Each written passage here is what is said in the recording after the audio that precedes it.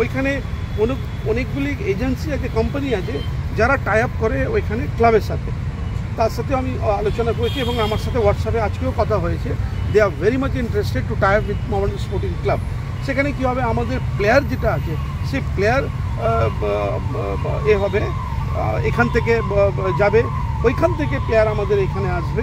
Infrastructure কী করে develop করা যায়, সেটা ওরা দেখবে।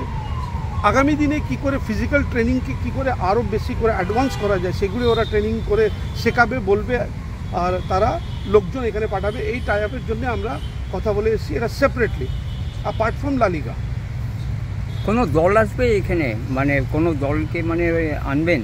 কোনো দলকে তো আনার জন্য মানে দিদি এটা বলেছেন ওনাদেরকে যে এইখানে ক্লাবকে একটা ফুটবল ম্যাচ করার জন্যে। যদি কোনো ওইখান থেকে মেড্রিড হোক রিয়াল মেড্রিড হোক কিংবা বার্সেলোনা হোক এইসব ক্লাবকে লালিগাকে উনি বলেছেন যে ভালো যদি কোনো ক্লাবকে একটা ফ্রেন্ডলি ম্যাচ করা যায় ক্যালকাটাতে এখানে ইসমলের সাথে মোহামেডানের সাথে মোহনবাগানের সাথে এই ম্যাচের জন্য উনি আবেদন আবেদন করেছেন। উনি বলেছেন যে একটা ফ্রেন্ডলি ম্যাচ করার জন্যও যদি হয়।